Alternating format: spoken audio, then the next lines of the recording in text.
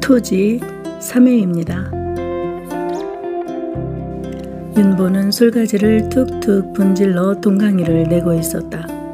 니 뭐하러 오노? 우렁우렁한 목청이 납작하게 엎딘 쪼가지봉을 넘어 울려 퍼졌다. 술병을 들고 두벅두벅 걸어온 용이는 풍수쟁이 같이 집 둘레를 한번 둘러본다. 옳거니? 니내 생일이라고 술 받아왔구나? 야, 그란에도 속이 허추해서 주막에 갈락했더만은 미역국은 어찌 됐소? 용이 빙그레 웃는다. 어찌 되기는 방바닥에 이마방아 몇번 찍고 먹었지러. 기분이 좋아서 입술은 다물려 있었으나 양쪽 눈꼬리가 아래로 처지면서 윤보는 연신 웃는 얼굴이다. 읍내나 이웃 마을뿐만 아니라 타도에까지 그 기량을 인정받은 대목수 윤보가 사는 집은 툇마루도 없이 마당에서 곧장 방문을 열게 되어 있는 방 한 칸에 부엌 하나, 울타리 없는 막살이었다. 대장간에 시가롭다는 말이 있고 밤낮 자르고 끊고 하기 때문에 바느질장이 목수 잘 사는 건 못 본다는 말이 있듯 찢어지게 가난한 살림이다. 천지간의 혈혈 단신, 집이 무슨 소용일까마는 부모의 기일을 알면서 그냥 넘길 수 없고 물이라도 떠나야겠으니 다만 그 일 때문에 막살이 남아 집은 있어야 한다는 것이다. 그러면서 후사는 와 생각 안 하는고 담뱃대를 두드리며 마을 노인들이 나무라면 임으로 되는 일이요 하고 되묻는 것이었다. 하늘을 봐야 별을 따제. 혼자서 자식 만든다는 말은 못 들었구마. 아따 죽은 입이 밥 묶었소.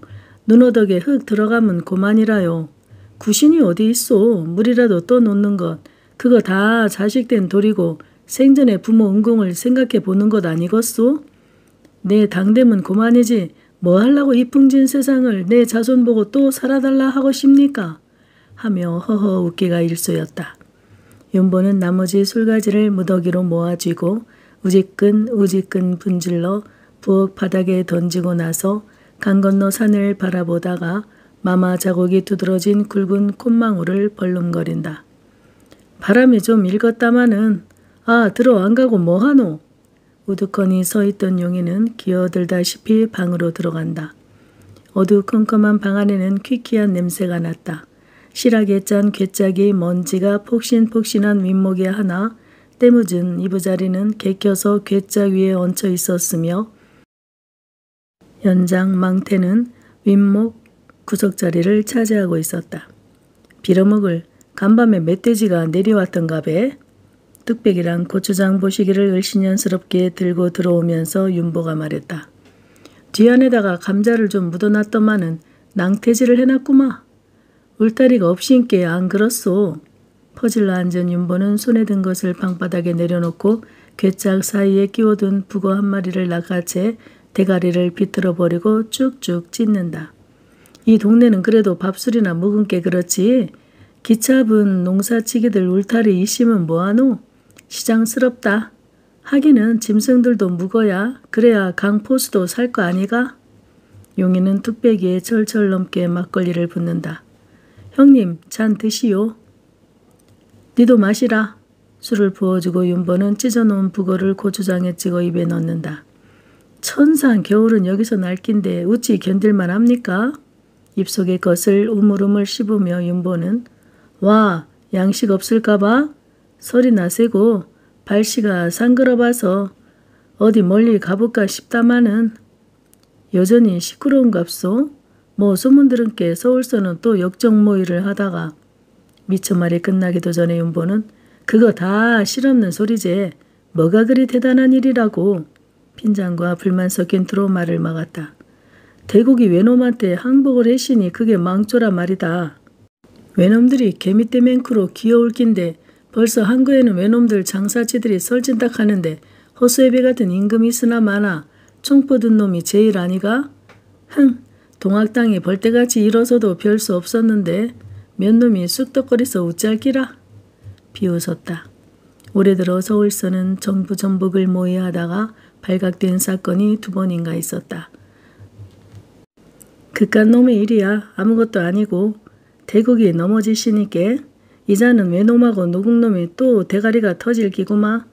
그놈아 아들이 뭔지 개명했다고 해서 그래 상투자른 양반들이 없고 지고 지랄들 하는가 본데 개명이라는 게 대체 뭐고? 개명이라는 게 별것 아니더마? 한말로 사람 지기는 연장이 좋더라 그것이고 남의 것 마구작으로 뺏어먹는 짓이 개명인가 본데 강약에 부동하기는 하다마는 그 도적놈을 놓고 지구하는 양반날이 내야 무식한 놈이라서 다른 거는 다 모르지만 해도 옛말에 질이 아니면 가지 말랐겠고 제 몸 낳아주고 키워준 강산을 남 줄 수 있는 일인가? 천민인 우리네 알뜰한 나라 덕 보지도 않았다마는 세상이 하도 시장스러워서 이자는 일도 하기가 싫고 사시장철 푸른 강가에 앉아서 붕어나 낚아먹고 살았으면 좋겠는데 그것도 어렵게 될 낀갑다. 그들은 다시 술을 부어 서로 권한다. 윤보의 말을 알아듣지 못하는 것은 아니었으나 마을 밖의 고장을 모르는 용이는 윤보만큼 세상을 보는 눈이 없다. 한동안 잠자코 있던 용이 입을 떼었다. 형님도 생각 좀 달리 해야 할기요. 윤보는 힐끔 쳐다본다. 언제 그정 신만 믿고 살겠소? 언제 내가 신 믿고 살았더나? 심을 믿었으면 벌써 뒤졌든가 했겠지. 자리를 잡고 앉아야 할기요. 그럴 듯 눈꽃만치도 없구마. 뭐니 뭐니 해도 제일 좋은 건 날라댕기는 새라. 알겠나? 모르겠소. 일부러 시치미를 뗀다.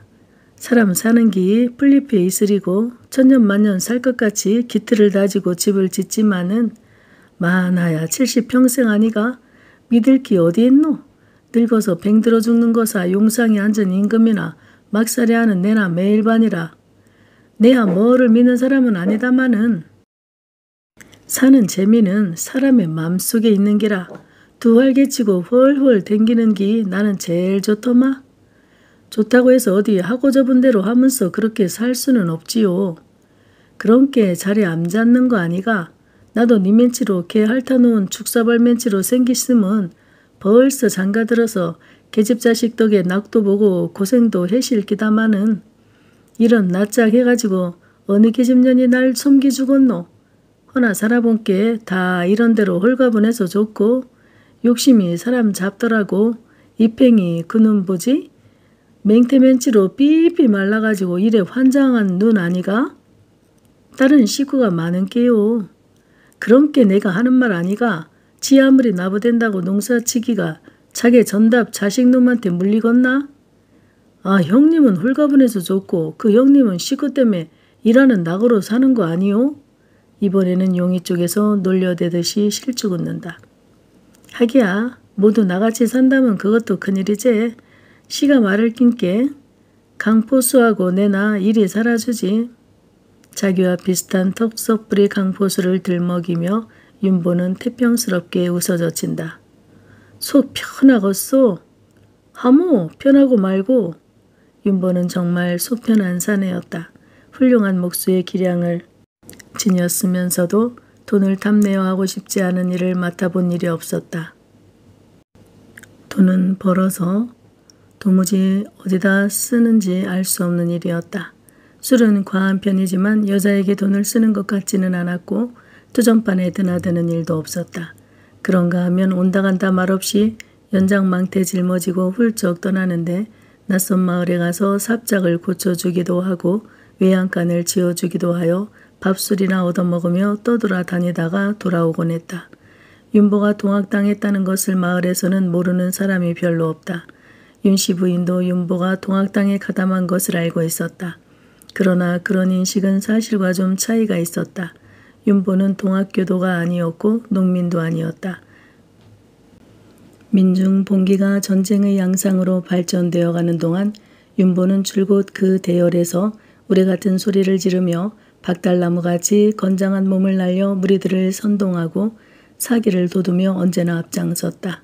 일자무식의 어림짐작과 직감으로 철통 같은 집을 짜 세우던 대목수 윤보에게는 싸움에서도 어림과 직감으로 민병을 모아 철통같이 뭉치게 하고 움직이게 하는 능력이 있었던 것 같다.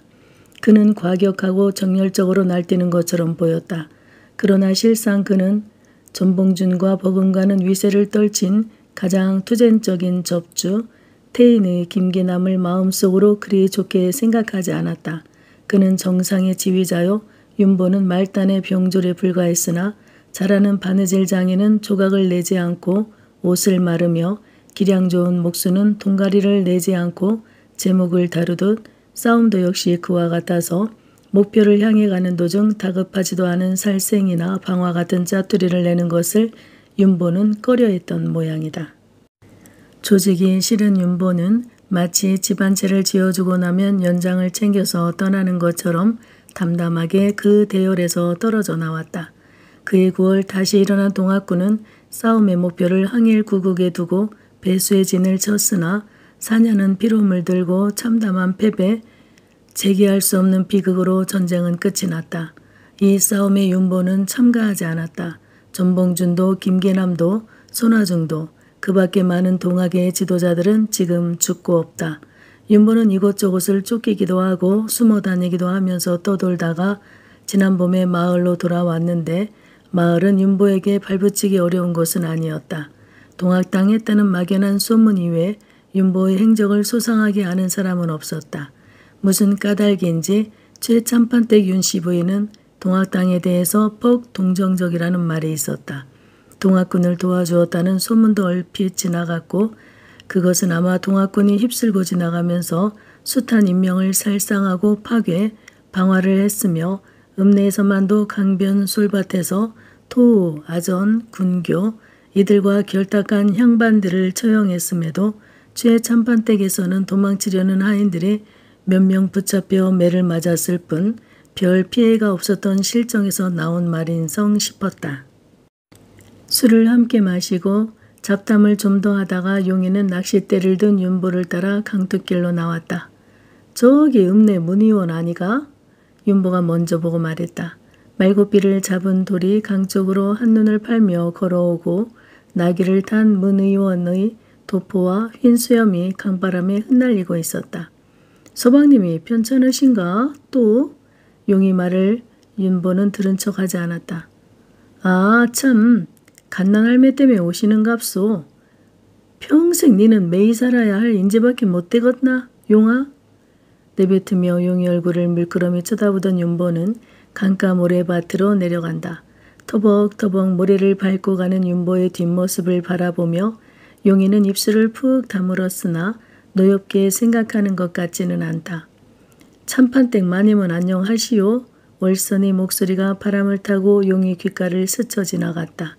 최참판댁 문전에 이르러 말에서 내린 문의원은 집 안으로 들어갔고 도리는 마구간에 말을 넣은 뒤 길상이를 찾는다.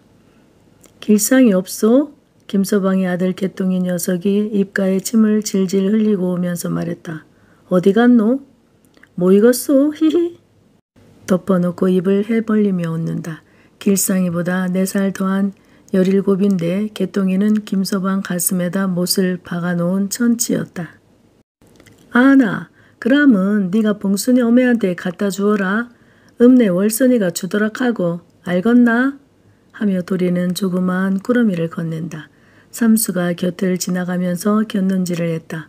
개똥이는 연신 히히히 웃으며 뛰어간다. 이때 길상에는 도장 안에 있었다.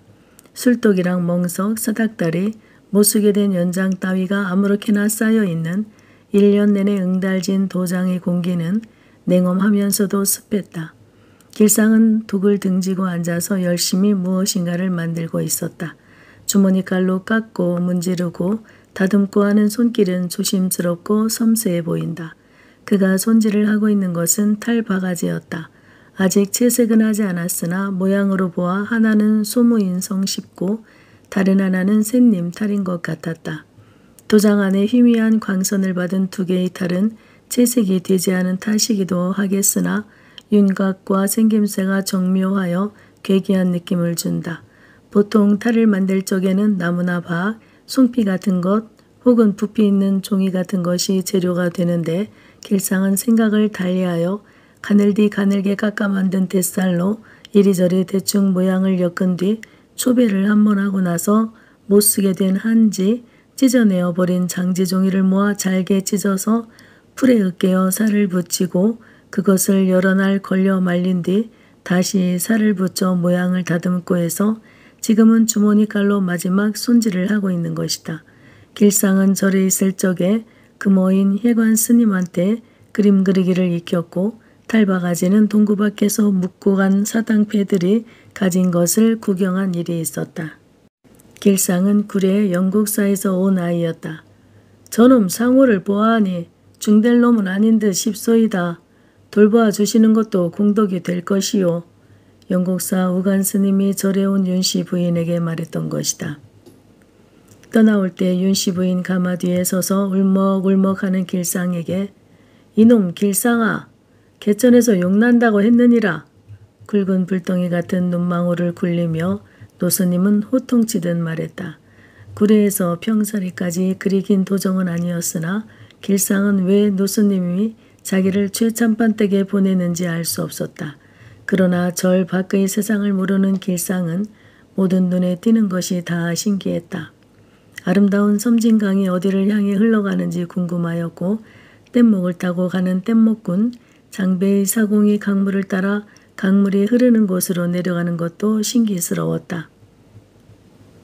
하늘 끝간데가 어디이면지 세상은 넓고 또 넓은 것 같아 가슴이 설레었던 것이다. 구천이보다 몇 달 앞서 윤씨 부인이 탄 가마를 따라 최참판댁에 왔을 적에 사랑의 들에는 철보다 앞서 분홍빛 석산화가 흐드러지게 피어 있었다. 길상에는 서방님의 눈은 노스님의 눈보다 더 무섭다고 생각했다. 낯선 집에서 길상이 둘레둘레 하고 있을 때 갓난 할멈이 와서 물었다. 네가 절에서 왔다문? 예. 대사께서는 편안하시고? 예. 묻는 갓난 할멈 곁에 바우 할아범이 눈을 꿈뻑꿈뻑하며 길상의 대답을 함께 듣고 서 있었다. 원체 기골이 좋으신 어른이니께 늙은 내외는 서로 마주보며 눈으로 얘기하듯 하더니 말 잘 듣고 서방님이 꾸중하시더라도 맘에 끼지 말고 여기 있으면 중되는 것보다 안 낫겠나?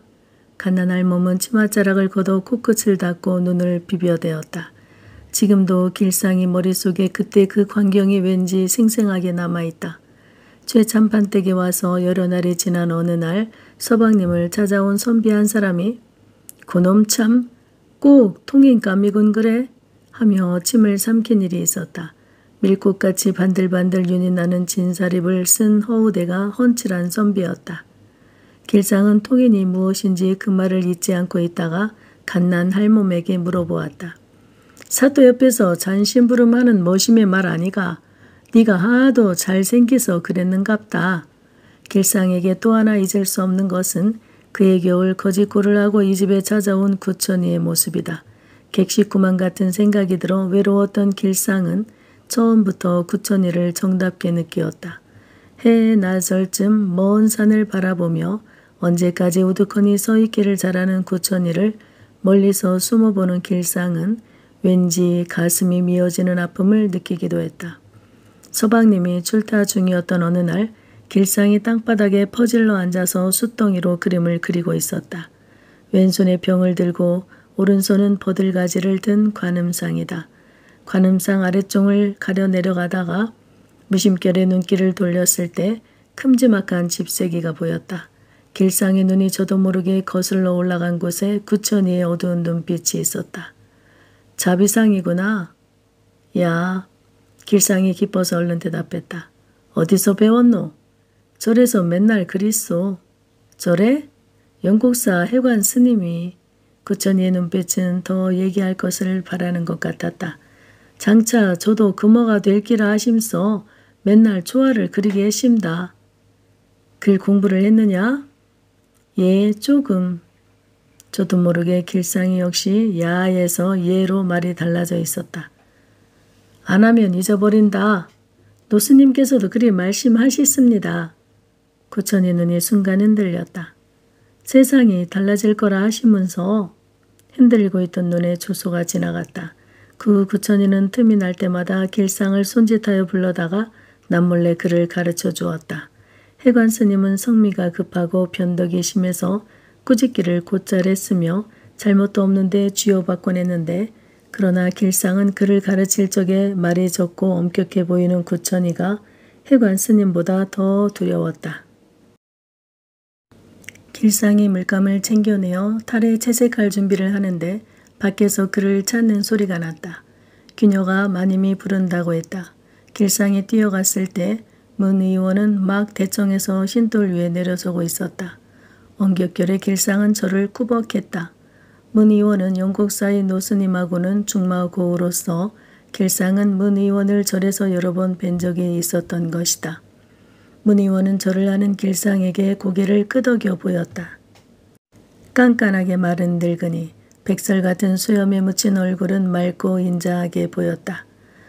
윤씨 부인은 두 손을 맞잡고 대청에 서 있었다. 언제나 다름없이 딱딱하게 굳은 얼굴이었다. 그러나 태도는 사부를 모시는 것 같은 일찍이 뉘에게도 보인 적이 없는 경건한 태도였었다. 사랑에 매셔라. 목소리는 딱딱한 얼굴과 마찬가지로 억양이 없었다. 문 의원의 모습이 사랑으로 사라진 뒤에도 윤씨 부인은 손을 맞잡은 자세로 그냥 서 있었다. 나으리 마님, 읍내 의원님께서 오셨습니다. 드시라 하여라. 음산한 목소리가 울렸다. 안녕하시오. 했을 때 책을 읽고 있던 최치수는 비로소 돌아보았다. 그 눈은 생소했으며 윤씨 부인의 정중한 태도와는 달리 앉은 채 앉으시오 했다. 그들은 서로 맞절을 하였다. 늘씬한 몸에 치렁치렁 따내린 머리채를 흔들며 귀녀가 상을 보아 가지고 온다. 전과 같이 문 의원은 서방님의 진맥을 하러 온 것 같지 않다고 길상이는 생각했다. 그동안 최칠수는 알지 않았던 것이다. 무슨 심부름을 시키지나 않나 하고 사랑 앞을 서성거리는 길상은 그러나 마음은 도장에 가 있었다. 채색만 하면 탈은 끝이 난다. 어서 끝내야지 하는 생각에만 가득 차서 기어이 길상은 도장으로 뛰어가고 말았다. 두 손을 모아 호호 입김을 쐬고 비비고 하다가 그는 마지막 완성의 즐거움을 가만가만 누르고 물감을 풀었다. 이제 죽어있는 두 개의 탈은 살아날 것이다. 길상은 혀를 반쯤 내물고 붓을 움직인다.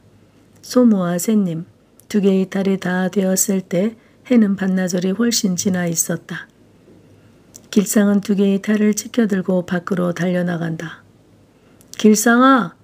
길상이 걸음을 멈추고 보니 그곳은 부엌 뒷문 쪽이었다. 봉순내가 팔짱을 끼고 부엌 뒷문을 향해 서 있었다. 문 의원께서는 아직 안 가시지? 야, 뭐 하시노? 사랑해서 말심하고 기십니다. 봉순내는 팔짱을 낀 채 초조한 안색을 띠고 바깥쪽을 한번 내다보듯 하더니 갓난할매 진맥이나 마님께 말씀 드리야겠는데 길상아 야 연인에는 부뚜막에 걸터앉아 전을 붙이고 있었다. 연희하고 마을에 드난꾼 여친애가 새앙을 다듬고 있었다. 꽃불이 들었는지 여치 어매는 자꾸 손등으로 코를 훔쳤다. 봉순내는 길상을 불러놓고 마땅한 생각이 떠오르지 않았던지 네 어디 가노? 봉순이한테요. 별당에 가요. 거긴 와. 이거 그기 먹고 탈이요. 어디 보자. 정말이구나. 이게 어디서 났노? 만들었소. 네가? 야, 이 사람들아 이거 좀 보래. 참 희한치도 않다. 연희하고 여친애가 일손을 놓고 왔다. 네가 정말 만들었나? 여친애가 다짐한다. 야, 네 참 희한한 재주 가지있구나. 원래 이 샌님은 째보도 아니고 너무 이뻐서 남자락 하겄나? 연인은 소무타를 제 어미에게 가져다 보인다. 연인에는 전을 붙이다 말고 혀를 끌끌 찼다. 청승스럽게도 만들었다. 너무 재주가 있어도 빌어먹는다 하는데 이 머시마야 이자 이런 건 만들지 마라. 조조했던 것도 잊었는가 봉순내는 아주 감동을 한 모양이었다. 그런 말 안 하네라. 복업심은 재주라도 있어야지. 길상이 편역을 들고 나왔다. 참모보다 친모인 봉순내의 감정이 훨씬 더 화사했던 모양이며 제 자신이 손끝 재주로 살아가는 신세라 제주에 대해 변명하는 감도 없지 않다. 애기씨가 좋아라 하시겄다. 네, 네 공들이 만든 심덕이 고마워서 상 하나 줄게. 올 설에는 말이다. 읍내 오광대 구경시켜주지. 야, 너희들도 욕바 신께 봉순이하고 함께 보내줄게. 정말이지요? 하모, 와 내가 네 보고 헛말하겠노. 봉순내는 별 생각 없이 즉흥으로 길상에게 약속을 하고 말았다. 장지문 쪽으로 몸을 기울이고 바늘에 꽌실을 물어 끄는 강청댁은 실거리를 반지꼬리에 내동댕이 치며 용이 하는 양을 사나운 눈초리로 본다. 용이는 바지가랑이를 발목에 꼭 쥐어지고 복숭아뼈 쪽으로 넘겨 접더니 옥색 데님을 친다. 집 구석에는 뗄나무 한 단 없이 해놓고 실밥이 툭툭 붉어져 나올 만큼 엉성하게 버선불을 붙이면서 강정댁이 짓거렸다. 오광대인가 팔광대인가 구경하려고 가나 뭐? 누가 그 속을 모를 줄 알고? 참말이지 내 간장이 썩어서 이놈의 살림 그만 탕탕 뽀사뿌리고 절에 가든지. 용이는 일어서서 두루마기를 입는다. 우리 고르자는 데다 파리똥 같은 딱지가 붙은 열쇠 무명 두루마기는 그러나 입은 사람의 풍신이 좋아서 번치가 난다. 세상에 무신 낙으로 내가 살고 앵앵거리는 자식 새끼가 있나 내외간에 정분을 믿고 그 낙으로 산다 말가 남들같이 살림 모이는 그 재미로 산다 말가 남의 집은 삽작에 들어서면 따신내가 나는데 헌 살간 같은 이놈의 집구석에는 냉바람만 돌고 울타리가 썩어 자빠지니 그거 손볼 생각을 어디 한 분 할까? 남들은 나무, 나무를 내서 집재만큼 쌓아놓고 그 나무만 봐도 절로 땀이 나는데 이 집구석에는 강아지가 지나가도 때릴 나무 한 가지 없다 카이. 나무가 뚝 떨어져야 지게를 지고 나가는 그런 게으름뱅이가 천하에 또 있을라고? 대접을 밀어내고 두루마기 자락을 거두며 앉은 용이는 곰방대를 꺼내어 담배를 넣는다. 이럴 줄 알았으면 내 뭐 할라고 시집 와실고? 남들이 풍신 좋고 심세고 심도 굽다고 부럽다 했었더만은 시집 잘 간다고 입에 춤이 마르게 부럽다 했었더만은 풍신 좋으면 뭐하노? 심샘은 뭐하노? 마음속에 보장이 따로 있는데 쪽박을 차도 마음이 맞아야 사더라고. 남은 한 해 사는데 나는 백년 살기든가? 용이는 담배 연기만 뿜어낸다. 조랑조랑 매달아 놓은 씨앗 주머니 사이에 쳐놓은 거미줄을 스쳐 담배 연기가 빠져나간다. 문틈 사이 햇빛 줄기 뻗친 속으로도 담배 연기는 뒹굴면서 얽혔다가 밖으로 빠져나간다. 참말이지 자나깨나 인혁 가숙, 인혁 자식밖에 모르는 두만압의 볼적마다 그 성님은 무신 대복을 지고 나왔실까 싶어서 옷 밥이 그리 부러우면 참말이지 도둑년 될 끼구마. 깊고 있는 버선 위에 눈물방울이 떨어진다. 강청댁은 눈물방울을 닦을 생각도 않고 맹맹해진 코만 들이마신다. 비로소 용이는 곁눈으로 마누라의 우는 꼴을 살폈다. 얼굴에 당황하는 빛이 지나갔다. 내가 뭐 가고 싶어서 가는가? 봉수 노매가 아들 좀 데리고 가돌라카이 그러라고 했지. 실없는 옆이네. 왜 해필이면 인혁 보고 가라 갑디까? 그년 어디 볼 구석이 있다고 최 참판내는 우천자천하는고 그 개눈깔 어디 볼 구석이 있다고. 기어이 월선이를 걸고 나왔다. 강청댁이 그러는 데는 그럴 만한 까닭이 있었다. 월선이 어떤 타관 남자에게 시집간 후 여러 해가 지나서 죽었는지 살았는지 소식조차 없더니 재작년 가을에 가랑잎같이 마을로 굴러 들어왔던 것이다. 이때는 무당이던 그의 어미가 이미 세상을 떠난 지 두 해였었고 잡초가 우거진 빈 집에 보따리를 하나 겨드랑이에 끼고 월선이는 울고 있었다. 옛날 월선내가 최참판댁을 드나들었을 무렵 어미 치마꼬리를 잡고 따라다니던 월선이를 동생같이 귀여워했던 봉순내는 돌아온 월선의 소문을 듣고 그를 찾아 빈집에 왔었다. 아이고 이 무상한 계집아 어메 죽은 것도 모르고 살아있음서 어찌 그리 소식 하나 없었노. 그래 네 꼴은 와 이렇노. 월선이는 울기만 했다. 살아볼라 했더만은 하다가 월선이는 흐느꼈다. 결국 갓난할 몸이 윤씨 부인에게 이야기하여 얼마간의 돈을 얻어 월선이는 읍내 삼거리에 주막을 차렸다. 강정댁이 최참판댁에서 월선이를 우천자천한다 한 것은 그 일을 두고 한 말이었다. 어디 마님께서 그러신나 봉순 어메가 아들 말이 끝나기도 전에 싱거운 옆인네 간을 쳐도 소금 위에 한 말은 들겄다. 새끼 사당 맨들랐고 오광대 구갱인가? 종놈 붙어먹은 구갱이 새끼들한테 본보기가 될 기라고? 전 그렇거든 지가 데리고 가지 와 남 보고 가라 마라 하노. 별 수도 없는 게 최참판네 새만 믿고 울고불고 행패를 부린다고 음내행을 중지할 용의는 아니었다. 다만 그는 여자의 눈물이 싫은 것이다. 아니 여자의 눈물이 두려웠던 것이다. 웬만치 바가지를 긁어도 말이 없고 심하다 싶으면 슬쩍슬쩍 농으로 돌려버리는 용이를 마을 사람들은 모두 그 이름같이 사람이 용해서 그렇다고들 했다. 그러나 실상은 강정댁이 뭐라 하건 용이는 자기 고집을 꺾은 일이 없었다. 장날이면 어떤 일이 있어도 읍내에 나가서 월선의 주막에 들렀고 술 한 잔을 사먹고 돌아오는 그 짓을 1년이 넘게 계속했으니 누구보다 강정댁 자신이 남편의 고집을 잘 알고 있었다. 그럼에도 여느 때와 달리 눈물까지 짜는 것은 오광대 놀이로 설레는 밤, 그 밤이라는 게 탈이었고 아이들을 데리고 가니만큼 하룻밤을 묵고 올 수밖에 없는 형편이 불안했던 것이다. 이번만은 한사코 말리고 싶은 생각이 목구멍까지 차올랐다. 용이 두루마기를 갈기갈기 찢어서라도 가지 못하게 말리고 싶은 간절한 마음이었다. 그러나 강정댁은 그러질 못했다. 초록은 동색이더라고 환양기 있는 년들이 새끼들까지 강정댁은 말을 끝맺지 못했다. 곰방대가 재떨이를 힘껏 쳤기 때문이다. 놀란 강정댁은 힐끔 쳐다본다. 용이는 곰방대를 한 번 더 두드리고 나서 훅 하고 빨아보더니 허리춤에 찔렀다. 그의 얼굴은 벌개져 있었다. 이때 삽작 밖에서 뛰는 발소리가 났다. 언 땅 위의 발소리는 맑고 튕기듯 들렸다. 아재요!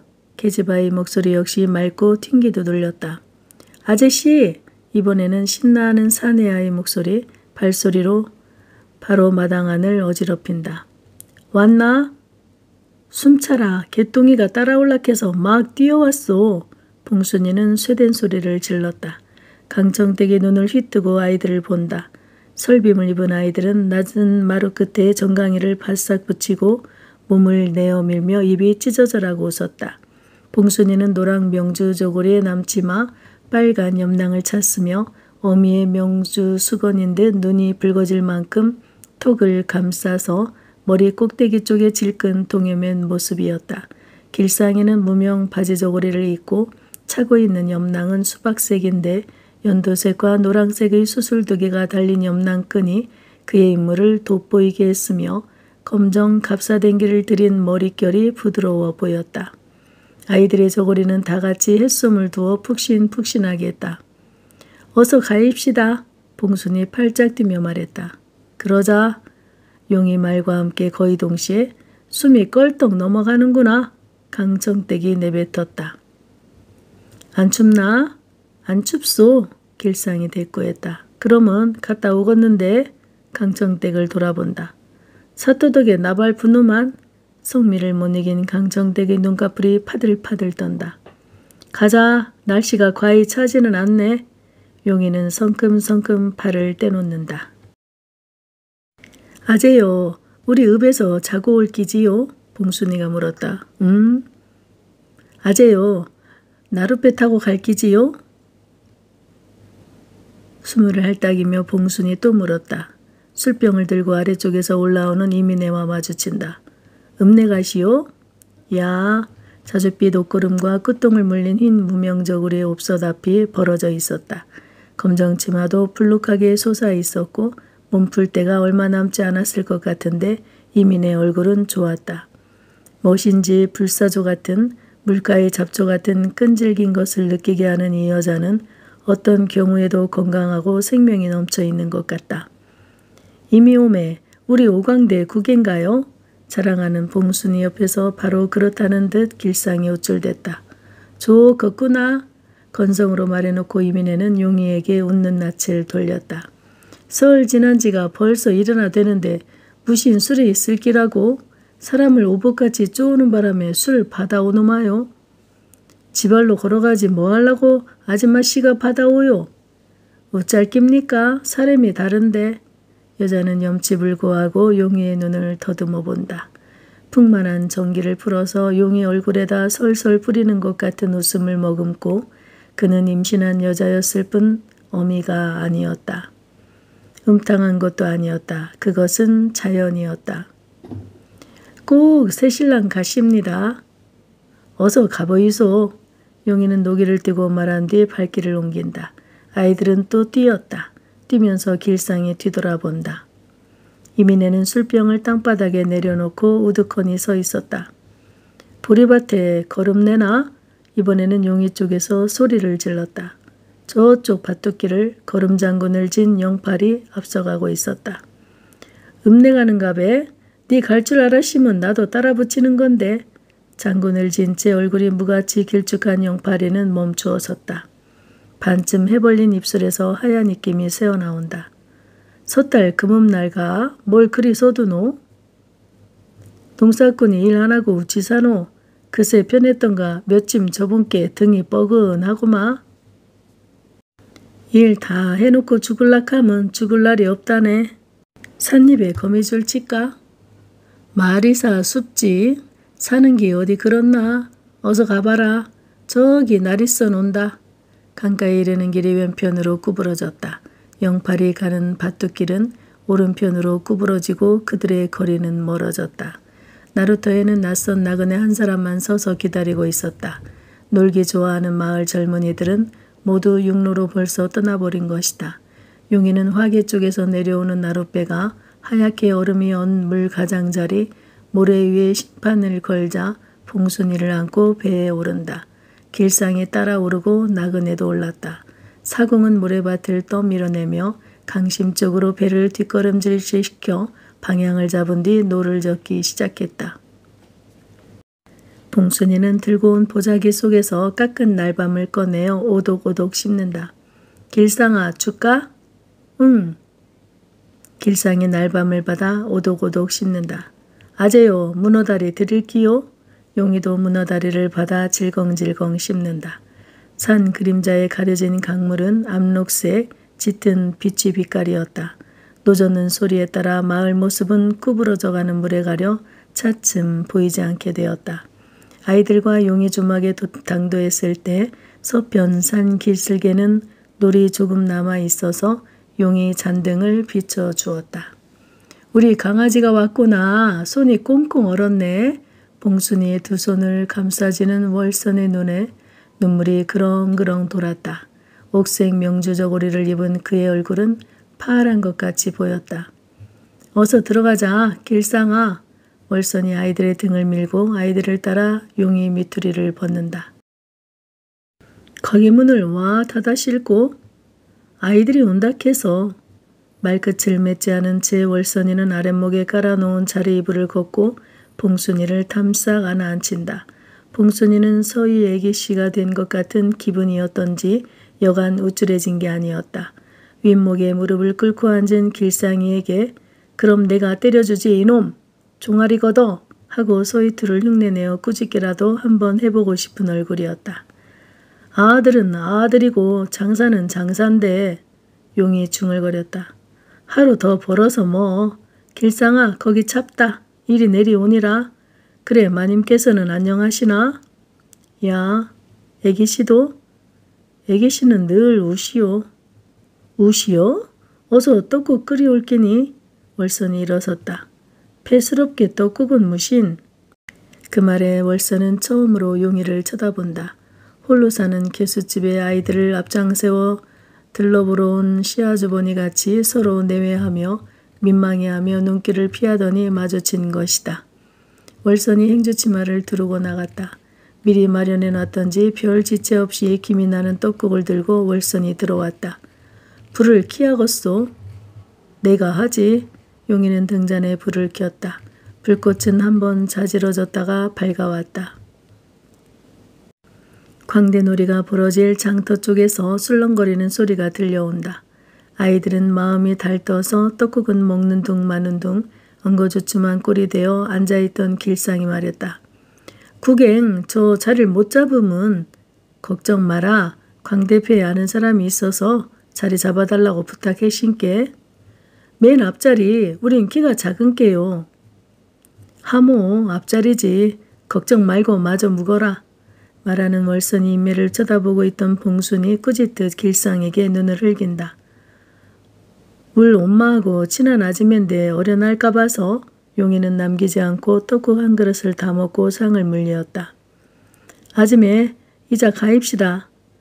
이번에는 점잔을 빼던 봉순이 졸랐다. 아직 멀었다. 이자부터 막을 치고 장작불 피우고 할 낀데 미리 가서 떨라고? 아줌에도 갈 끼지요?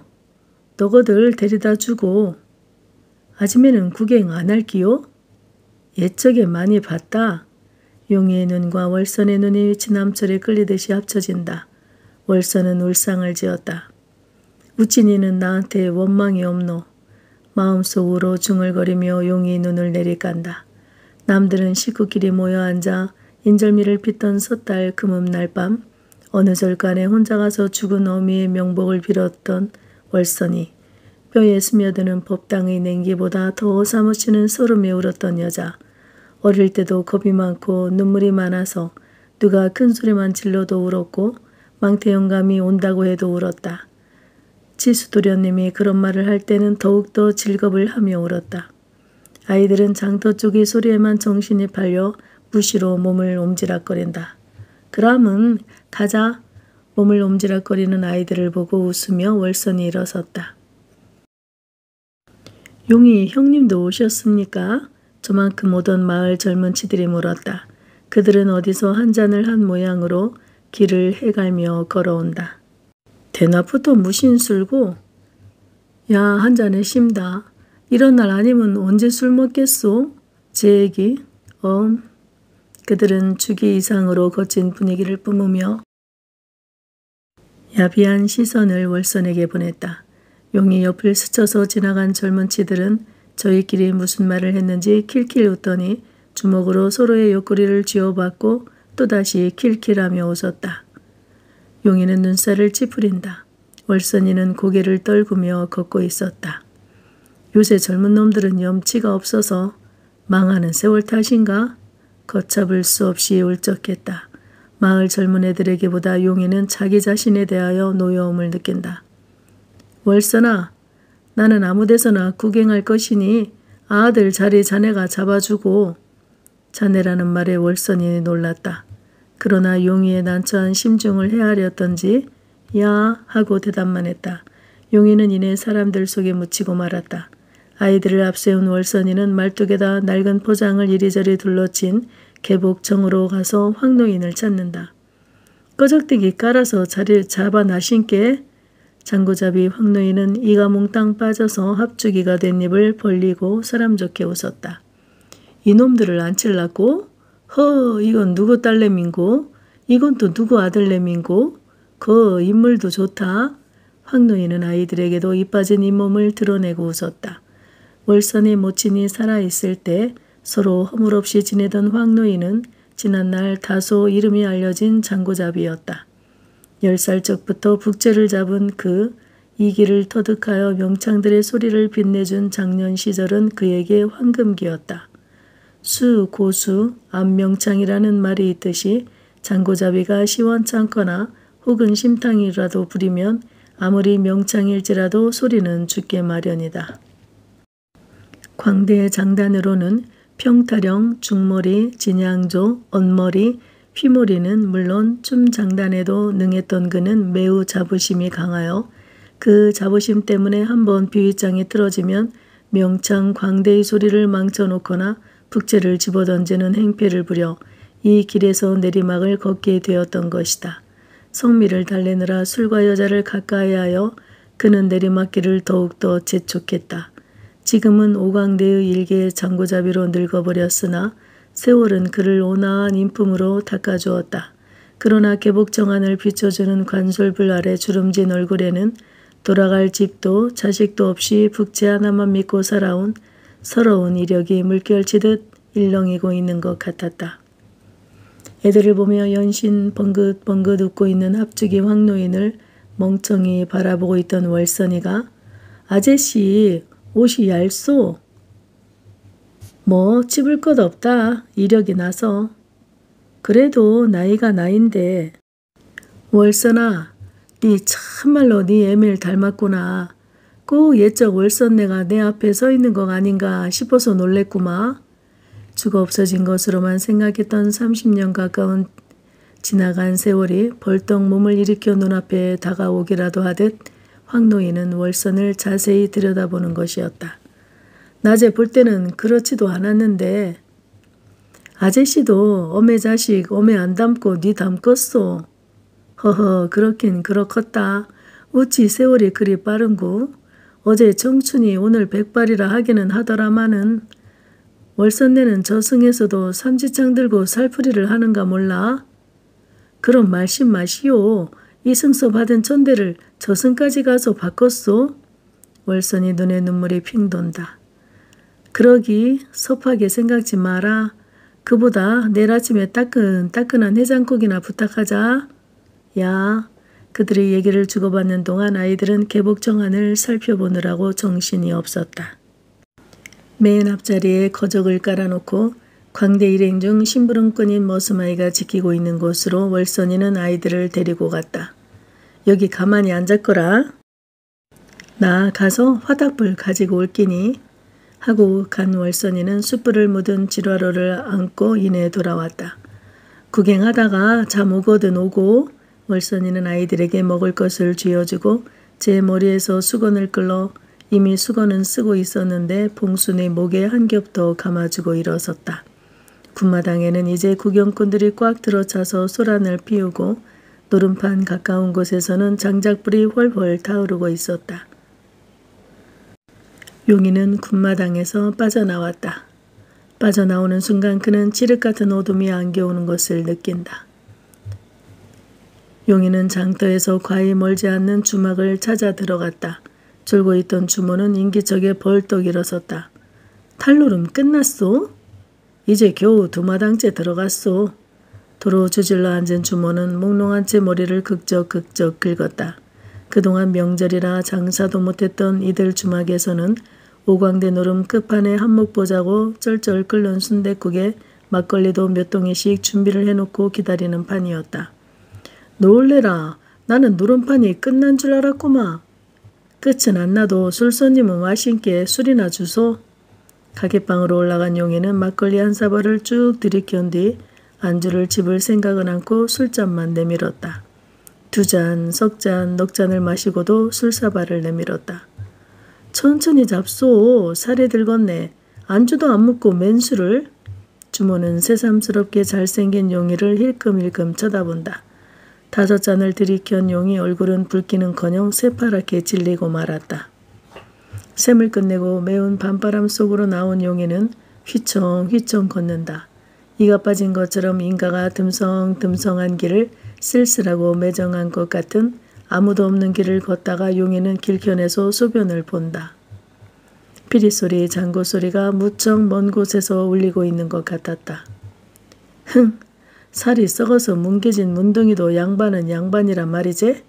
천하일색 양귀비라도 무당은 무당이라 말이지? 흠! 바지 말기를 치켜 올리고 허리끈을 동인 뒤 용이는 휘청거리면서 월선의 주막 앞에까지 왔다. 월선아!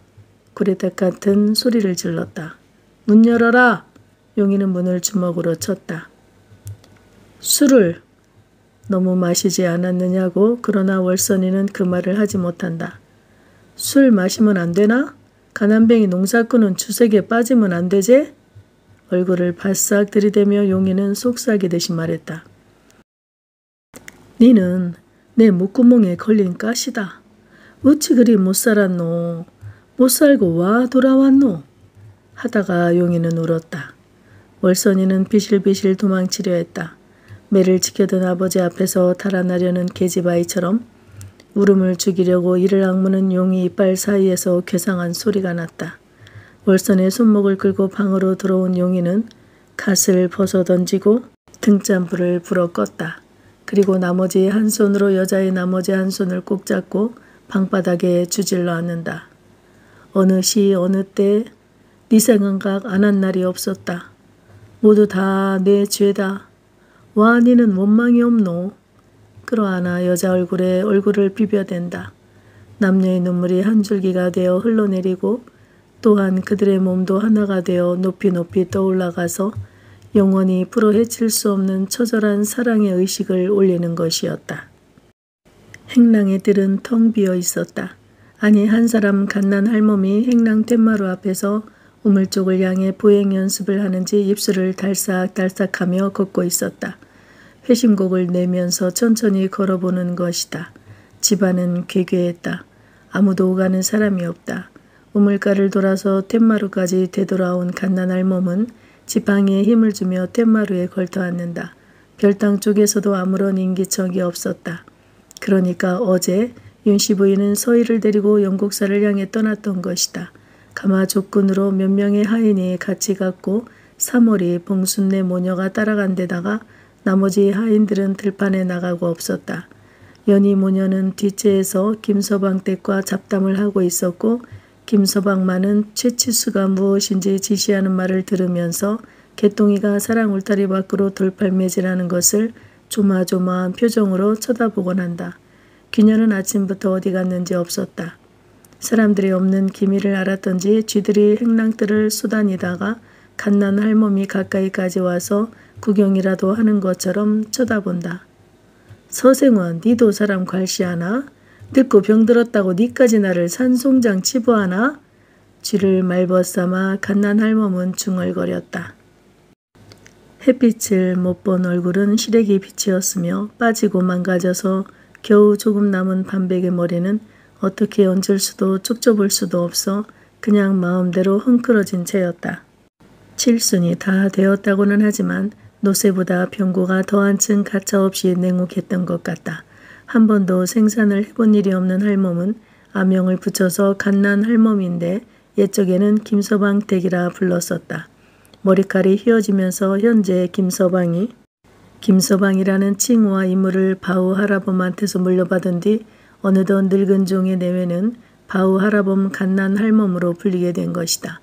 지난해 초상이 두 번 나겠다고 걱정들을 했는데 겨울을 나면서 갓난 할멈은 이상하게 조금씩 회복이 되어 왔다. 철은 어김이 없이 찾아오건만은 강물도 풀리고 나무에도 um이 트건만은 사람이 목숨 맨치로 무상한 기 또 있을까? 괘씸한 늙은이. 내 후사는 어잘라고 자기 혼자 먼저 갔단 말고 살아실 적에는 할망구 내 손으로 꽁꽁 묻어준다 카더만은 개똥의 행락마당을 기우시 들여다보다가 갓난 할멈은 못 보았던지 바지 말개를 지키며 밖으로 나간다. 인생 70이 잠깐이다. 지난 일이 엊그제 같은데 아씨를 따라서 백년함에 간 일이 엊그제만 같은데 아씨도 늙으시고 대면했을 때는 마님이라 했지만 갓난 할멈에게 윤씨 부인은 언제나 아씨였다. 마음속에는 꽃같이 젊고 고운 아씨인 것이다. 한동안 멍하니 앉아있던 갓난할 몸은 지팡이를 짚고 일어서서 자기 걸음을 가늠해 본다. 몇 발짝 걸어보고는 멈추고 다시 걸어보고 그렇게 되풀이하면서 행랑문 밖으로 나간다. 내리막길을 가다시피 반쯤 내려온 할멈은 지팡이를 놓고 땅바닥에 퍼질러 앉는다. 이러다가 집불 잦아지던 내가 갈 기다. 어이구 숨이 차고 멀리 미나리밭에 들어서서 미나리를 캐고 있는 마을 안악들의 모습이 보인다. 맨발에 스미는 흙탕물에 냉기, 종아리를 간지러주는 미나리의 부드러운 잎새, 겨울을 견디어낸 푸른 잎새는 연하고 향기도 짙다. 갓난 할멈은 바우 할아범 생전에 봄미나리 설치국을 즐기던 생각이 불현듯 난다. 보는 것마다 그 늙은이 생각이네. 다시 일어나서 나무 내리막길을 내딛는다. 땅을 덧없는 지팡이 끝이 허하게 보이지만 그는 길을 쓰고 걷는다. 등 뒤에서 소방울 소리가 났다. 비키소! 비키요! 노성이 뒤통수를 친다. 갓난할 몸은 엉겹결에 길바닥에 주질러 앉는다. 누구라고? 할매 아니요?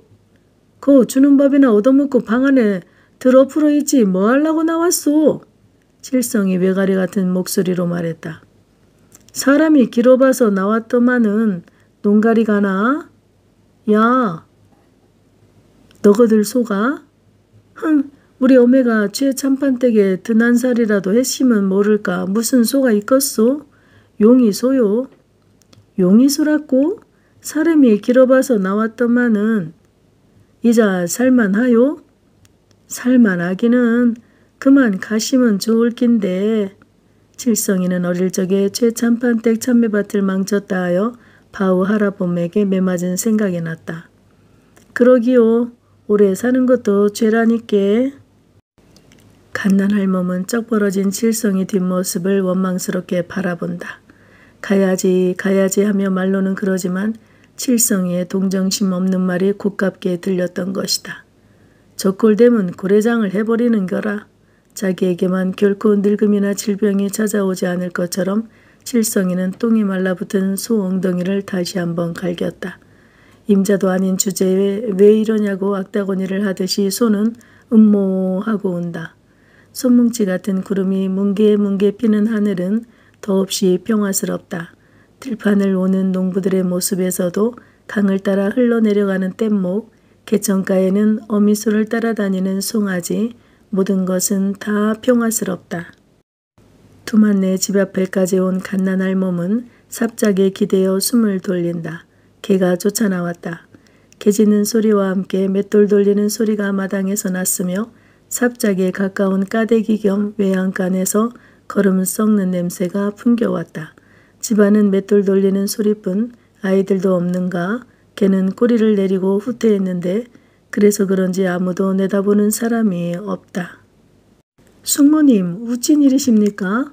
쫓아와서 갓난 할멈의 지팡이를 받아들고 그를 부축하여 마루까지 데리고 가서 앉힌다. 휴, 사람이 길어봐서 나왔더만은 숨이 차고 어지럽고 가본다 가본다 함써도 뭐하노? 어머니 미음 쓸라고 쌀 한 움큼 담가서 갑니다. 욕 본다. 무신 말씀을 아범은 어디 갔노? 봄가리 한다고 아이들은 나무하러 가십니다. 선인녀는 어디 가고 지 아베 점심 갖고 안 가십니까? 애미 애비 닮아서 새끼들도 여수에 갔구나. 되는 집구석이다. 가만 누워 안 계시고 우찌 이리 오시십니까?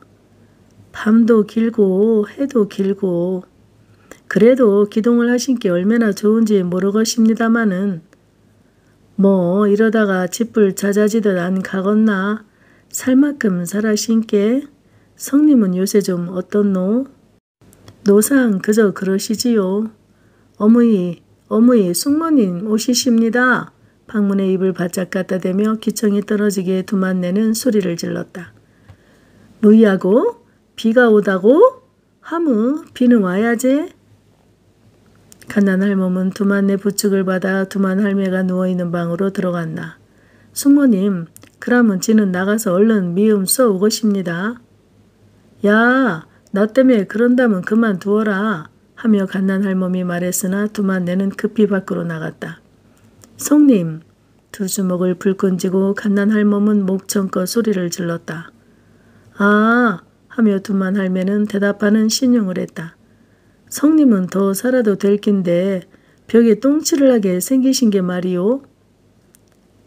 효자가 있어도 그 낙을 모르고 쯔츠 소리를 지를 기력도 없거니와 질러봐야 소용이 없는 상대였으니까. 비가 의하제 거녀는 우돈이오고 묵사 뭐에으 폐의 아이가 허이뿌 새가 하무 비가 와야제 거년의 웃동네하고 물싸움하면서 우리 팽이 아베가 허리 뿌른 생각함은 그 말이다. 거년이라니 성님 그게 언제 일인데 그러요? 30년도 더 된 일 아니요? 한숨 대신 연부를 웬다. 어서 해온이라고 죽에 머들이 생기신다. 머리에 불티를 뒤집어 쓰고 생솔가지를 집혔는가 두만내는 땀을 뻘뻘 흘리며 상을 들고 들어왔다. 맨입으로 가시면 됩니까? 어서 좀 드시소. 굳이 권하여 갓난 할멈이 숟가락을 드는 것을 본 뒤 두만내는 시어머니를 안아 일으켜 애기에게 그렇듯이 뜨거운 깨죽을 입으로 불어 시켜가며 떠먹인다. 정신이 다 나가고 목숨만 붙어있는 노파의 식욕은 왕성했다. 한 대접을 말끔하게 비운 뒤 두만내는 시어머니를 자리에 눕혔다. 더 잡수면 설사를 하신께요? 하다가 상위의 사발에 죽이 많이 남은 것을 보고 와 그러십니까? 많이 묵었다. 집에서는 이만큼이나 묵건데 그래가지고 어찌 기동하실라고 자주 가볼락해도 사물이랑 봉수놈매가 모두 잘하는데 참견이라도 하러 가는 것 같고 해서 별 걱정을 다 한다. 살림사는 감호가 무시로 올 수 있나? 사물이나 봉수놈매는 너거들 칭찬이 자자하다. 친조카도 안 그럴 기라고 함서. 별 말씀을 두만내는 비죽이 웃으며 그 듬직한 몸을 구부려 시어머니 입가에 묻은 죽물을 닦아준다. 상을 들고 두만내가 방에서 나가는 순간 개가 죽는 소리를 하고 울부짖었다. 아니 저기 아서라 개를 와 때리노 저 미친년이? 두만내가 악을 썼다. 마당이 한참 시끄럽더니 잠잠해졌고 두만내가 들어왔다. 먹고 또 출래가 왔구마요. 그새 안 보이더만은 어디서 뒤진 줄 알았는데 그게 미친년치고는 엄전한 편인데 와 그래 지랄하던고? 봄이 되면 병이 더 동하는갑대요. 그렇다더마. 참 숙모님 와 며칠 전에 말입니다. 강청댁에 친정일 갔는데 아 그러세 월선이가 말입니다. 월선이가? 그 가이나 읍내에서 주막 안 차렸나? 와 아니라요. 그런데 이 서방이 용이 말가? 야 갓난 할멈은 당장 알아차린다. 불쌍한 가이나 지 애미 심덕을 봐서 잘 살 줄 알았는데 어찌 그리 박복한고 윤씨 부인을 지금도 아시라 하는 것과 마찬가지로 갓난 할멈에게는 30이 다 된 월선이도 역시 계집아이 적 그대로 가인하였었다. 박복할 수밖에 더 있것입니까? 잘못 태인하시니? 그렇구나. 옛적에 용의 애미가 시금을 전폐하고 혼인을 말린 것도 허긴 그 탓이지. 그래 용이 댕내가 친정에 가서 우찌됐노? 안 산다고 보따리 싸가지고 친정에 갔는데 법으로 만난 부부가 갈라설 수 있습니까? 성미가 그래서 지랄 한번 부리본 기지요. 그래 친정에 갔다 오는 길에 뭐라 카든가? 무슨 고개마루에서 구천이를 보았다 한갑니까? 뭐라고? 갓난 할멈은 자리에서 뛸 것처럼 놀란다. 강청이 산청 넘어 함한 땅 아닙니까? 거기서 지리산이 아니 멀지요? 그렇지로. 그러니까 아무래도 지리산에 숨어 있는가 봐요. 행색이 어떻든고 별당 아씨는 바싹 다가앉는다. 뱅이 들어 그렇던지 별당 아씨를 업고 가더랍니다. 두 사람이 다 거제 중에 산거지가 돼서 별당 아씨는 등에 업혀서 얼굴을 숨기고 있으신께 또 바닥에도 강청댁을 모르겠지만 구천이는 분명히 강청댁을 보았답니다. 부끄러워하는 기색도 없고 피해가는 기색도 없고 눈 한 번 깜짝하지 않고 똑바로 앞만 보고 지나가더랍니다. 그래 실기다. 갓난할멈 눈에 눈물이 핑 돌았다. 강청댁 말이 별당아실 얻고 가는 구천이 뒷골을 보고 서 있으니께 눈물이 나더랍니다. 거지 중에 산 거지라. 거지 중에 야? 아무것도 아니다. 그 소리를 들은 게 사람 사는 기 대가댁 외며느리가 자식 낳고 살다가 거지 신세가 될 줄 누가 알을 것입니까? 어머마 내가 어지럽네. 누보야겠다. 야 있어? 두만내는 안방에 가서 베개를 가져다 갓난 할멈 머리를 괴어준다. 거지 중에 산 거지라. 친정에서는 그 아무 말씀도 없었다 캅디까? 무슨 말이 있건노 이쪽에서 알리지도 않아 실기고 서울 천리 밖에서 소식을 들었다 해도 베린 자식으로 치부에 실기니 친정댁의 형편은 어떻는데요? 기차분 선비 집안이지 가문이사 좋다 카더라마는 오만 가풍에 딸 자식 생사나 안락하겠나? 뭐 돌아가신 아씨하고는 남도 아니라 하는 말을 들은 것 같습니다. 그거는 아니다. 돌아가신 아씨 친정 연줄로 혼살했지. 와 두 분이나 서울 혼살 했실고요? 돌아가신 노마님께서는 서울 조시감은 아닌가배. 애초 그 어른이 첫 번째 손주 며느리를 친정 곳에서 구했지. 서방님께서는 후사 때문에 혼인을 서두시야 한 것입니까? 고궁한 살림이랑 선영을 생각해서라도 지금도 늦었음 늦었지. 그러세 혼인하신다고 당장 보아실락하면 벌써 바실긴데 자손 귀한 집안이라 어떨런고 그 씨라는 게 떨어져서는 안 될 곳에는 잘도 떨어지더만은 혼잣말처럼 중얼거렸다. 엄마 아베 점심 갖다 주고 왔소? 13살 나이보다 훨씬 숙성해 보이는 선이 통을 이고 들어오며 제 어미를 부르고 말했다. 그리고 마루 밑에 낯선 미투리를 본 그는 작은 방문을 열고 기웃이 들여다본다. 할머니 오시십니까? 덧니를 내고 웃는다. 웃냐 내 새끼야? 누워서 눈을 지켜뜨며 갓난 할멈도 웃는다. 다니실만 하신가 배요? 너거들 보고 접어서 안 왔나? 네 아베 점심 다 자신나? 두만내가 물었다. 야, 밥이 다 식었지? 숙명이 말아 잡쌌소. 어, 가서 전기 치우고 보리쌀은 물을 묻혀놔신께 한 분만 더 곱찍어라. 야, 선이는 통을 들고 부엌으로 간다. 두만내는 시어머니를 안아 일으켜 요강에 소변을 받아내고 다시 눕힌다. 속속들이 알고 보면 사람 사는 게 만석구는 만 가지 걱정이 있고 천석구는 천 가지 걱정이 있더라고.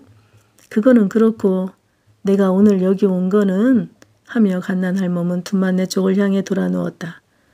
의논을 좀 해보려고 그러는데 말씀하시소. 두만네 얼굴이 다소 긴장된다. 다름이 아니라 둘째 놈 말인데 우리네 같은 노비 신세 양자고 뭐고 한다 하면 염치가 없는 짓이다마는 죽은 영감도 죽고 남은 그만이라 감서 입 밖에 말도 내지 마라 하고 그러나 곰곰이 생각한 게 그럴 기 아니더라 그 말일세. 영만이를 영만이는 두만네의 둘째 아들이었다. 두만네 얼굴에는 난처한 기색이 돈다. 뭐 이름이사 붙이나 만 하고 내가 살아서 가한테 칠림될라 하는 것도 아니고 내 죽은 뒤 일인께 외손 봉사를 하면 자손이 지리지 않는다고들 하더라마는 촌수가 멀어서 그렇지 김가성이 한 집안 아닌가? 그렇지요. 내 생전에서 영감 빈소에 물이라도 떠놓지만은 내 눈 하나 없어지면 영신이 어디 가서 물 한 모금 얻어먹겠노? 아씨께서는 절에다가 얹어 죽었다 말씀을 하겠지만은 내 분역이 없이는 모를까 의논이라도 해보는 것이 그러무요. 하기는 하나 두만 내 얼굴에 근심이 낀다. 촌수가 멀기는 해도 너희 시할부 아니하고 우리 시아버니는 육촌간인께 알고 보면 멀지도 않다. 그러무요. 뭐 아까도 내가 말했다마는 양자고 뭐고 이름 붙일 것도 없이 기일에 물 한 그릇이라도 떠주면 되는 기고. 두만내는 선뜻 대답을 못한다. 작은 일이 아니었다.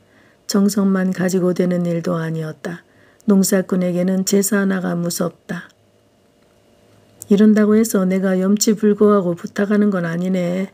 아씨한테 말씀드려서 논마지기나 떼어 주십사고 함은 두만내 양볼이 금세 새빨개진다. 꿈에도 생각지 못한 말이었던 것이다. 말씀드리기가 어려봐서 그렇지 아시께서는 날 괄신 안 하실. 우찌 그럴 수가. 안 하시고 말고 말씀드리기가 어려봐서 그렇지. 그 그거사 두만 아베 보고 의논해서 하모 의논해야지. 내가 오늘 이 말을 할라고 길을 쓰고 내려왔지. 자식 없는 놈이 설레라. 그 그렇겠소만 두만내는 당황하고 흥분하여 어쩔 줄 모른다. 인제 할 말을 해신께 내가 가야 할 긴데 어질어질해서 걷겄나? 지가 어보다 드리겠습니다. 어보다 줄래? 야, 선이는 새끼 절굿공이를 들고 보리방아를 찍고 있었다. 바지 위로 댕강 올라간 검정 동강 치마가 방아지라는 데 따라 우쭐우쭐 흔들린다. 절굿공이가 하늘을 향해 올라갈 적마다 선이도 함께 올라가듯이 발도 두물한다. 그러나 계집아이의 팔은 가늘었다. 할머니 가십니까? 언냐? 간다. 갓난 할멈은 두만네에게서 엎여서 삽잡을 나섰다. 할머니 가입시다. 언냐? 두만네는 늙은이의 무게를 조금도 느끼지 않았다.